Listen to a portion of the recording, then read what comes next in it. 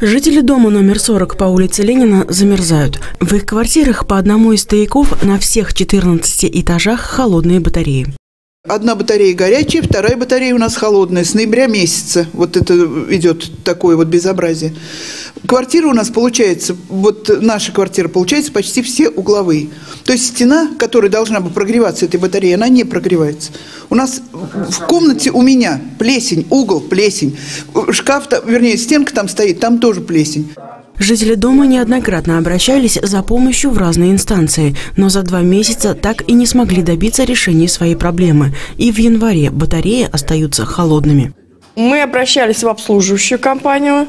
Жилсервис нам объяснили тем, что вот у кого-то из жильцов поставлено индивидуальное отопление. Это с ноября месяца они никак не могут доступ в эту квартиру. Было предписание, предписание игнорируют. Мы обращались в ЖСКХ. Пришли писать заявление, нам сказали, что они подали в суд на какие-то квартиры, которых нет доступа. Поэтому, говорят, сейчас без толку, можете не писать. Обращались в энергоресурсы, обращались в горосполком.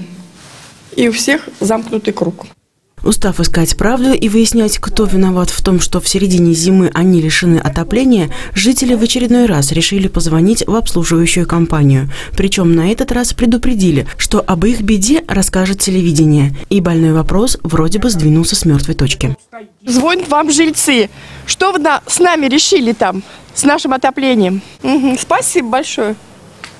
Что сказали? Нам сказали, что квартиру 82 они попали, там все нормально, или забито. Сегодня к нам придут сантехники и будут менять винтель. Если там результата не будет, то будут стояк прочищать. Будут опять ходить по квартирам искать, у кого это забито, в какой квартире. То есть пообещали решить вопрос отопления? Да.